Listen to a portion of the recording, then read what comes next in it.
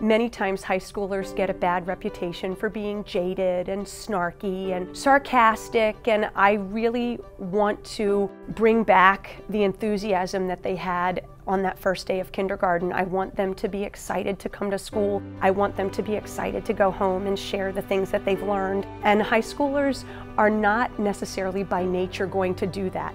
Teachers are meant to be filters for students so that students can learn appropriate techniques for research in their future lives.